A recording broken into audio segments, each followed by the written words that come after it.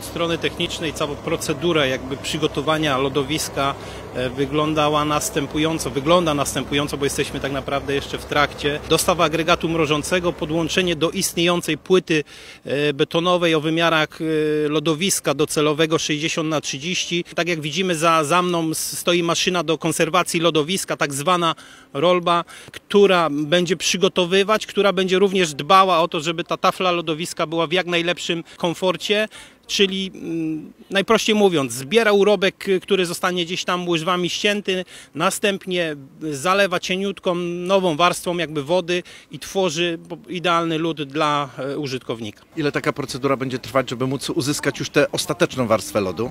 Powiem tak, grubość lodu na chwilę obecną mamy już uzyskaną odpowiednią. Teraz e, odbywa się szkolenie z, właśnie z tej maszyny rolby i to są już tak naprawdę ostatnie jakby takie szlify tego, tego lodu, żeby go e, przygotować już do, do finalnego jakby wyglądu. Warstwa lodu na, na tego typu e, lodowisku, czyli to jest o podłożu betonowym, tak naprawdę oscyluje w granicy do 5 cm powinniśmy utrzymywać, utrzymywać grubość lodu. Jeśli chodzi o, o, o samą technologię, ona powoduje to, że niezależnie od y, temperatury, od minus nie wiem ilu do plus ilu może się ta tafla utrzymywać? Tak naprawdę dolnego pułapu nie mamy żadnego, bo jeżeli będziemy mieć na zewnątrz minusowe temperatury, to tylko i wyłącznie zyskujemy tym, że agregat mniej pracuje.